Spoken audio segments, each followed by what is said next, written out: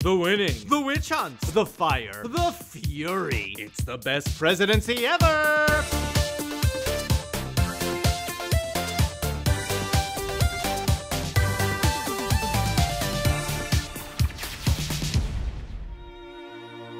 But you also had people that were very fine people on both sides. No, right now, if you say very fine people around black people, we're gonna be like, no, no, no, no. Oh. No, I, I got, we, we're gonna have to have some oh. work. No, no, no. You don't know what fine means. You don't know what fine. This is not fine. The Unite the Right rally in Charlottesville was a calling call to like anyone part of the white supremacist alt-right movement to come together. And they started chanting, the Jews will not replace us. Jews will not replace us!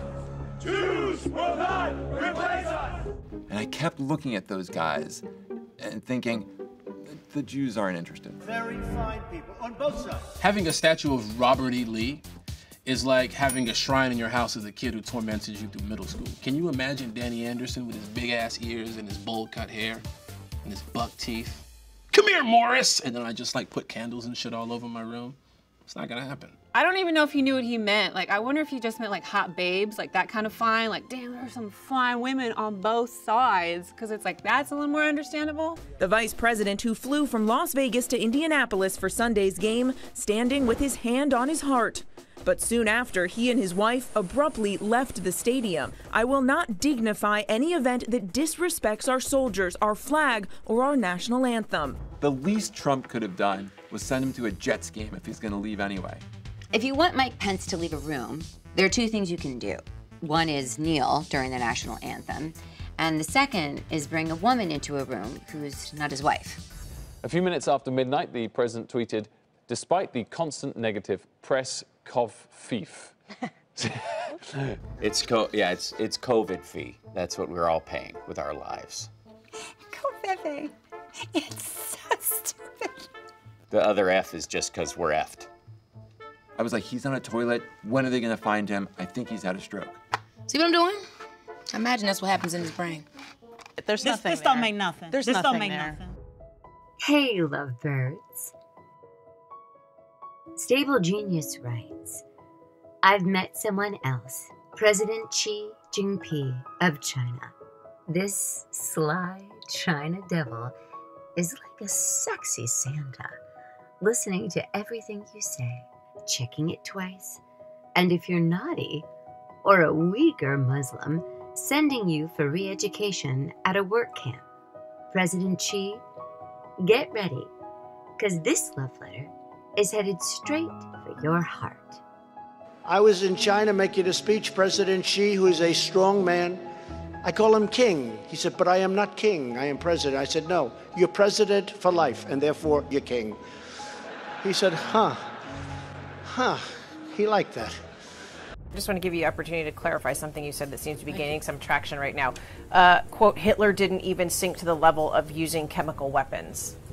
What did you mean by that? I I think when you come to sarin gas, uh, there was no, he was not using the gas on his own people the same way that Assad is doing. I mean, there was clearly, I, I, I understand your point. Thank you. I, thank you. I appreciate that. There was not in the, in the, he brought him into the, to, um, to the Holocaust Center. I understand that. I went to Hebrew school for a lot of years, but not knowing the term concentration camps means you didn't go to any kind of school. Sean Spicer's not the only one who doesn't know Holocaust history. According to the Washington Post, two thirds of millennials don't even know what Auschwitz is. They think it's the German word for avocado toast.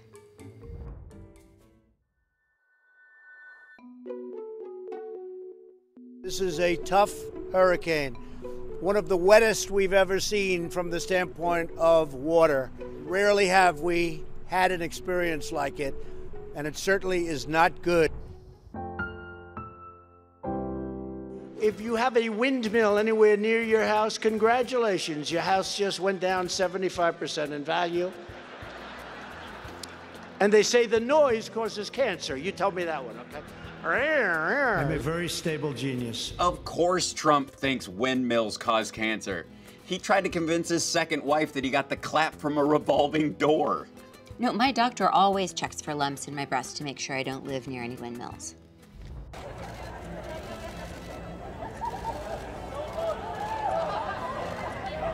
Guys, Trump just wants to do the thing you tell him not to do. Don't stare at the eclipse.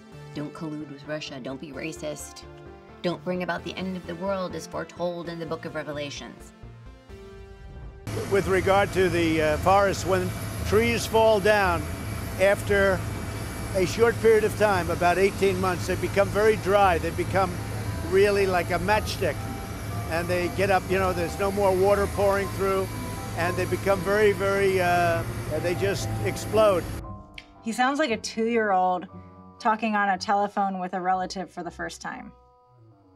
You're like, great, trees are, and then you try to hang up, but they're so little, and you just want to encourage them. You got to take care of the floors, you know, the floors of the forests, very important. You look at other countries where they do it differently, and, and it's a whole different story. I was with the president of Finland, and he said, We have uh, a much different, we're a forest nation. He called it a forest nation. And they spent a lot of time on raking and cleaning and doing things. I think he just liked the idea of raking forest floors because he's used to just bossing people around in hotels.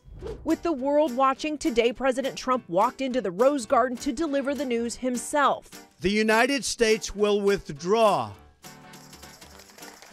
from the Paris Climate Accord. From what Stormy Daniels said, the Paris climate deal is the very first thing Trump has pulled out of.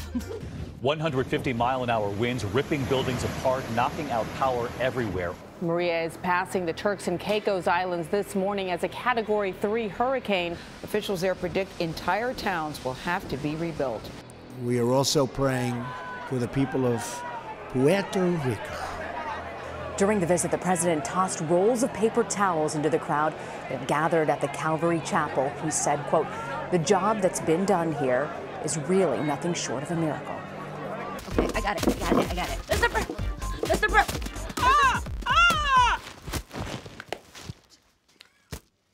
What the hell is going on? But Trump did eventually make it down there and he threw paper towels at people in a press conference, um, which only could have been more insulting if he leaned back and threw individual sheets at people.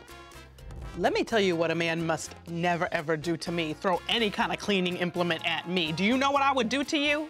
Trump threw those paper towels at Puerto Rico like it was an island full of cleaning ladies. Okay, who? Oh, you, all right, no, you know you what? want Ass you know what? whooping. You know what? Throw money, you idiot.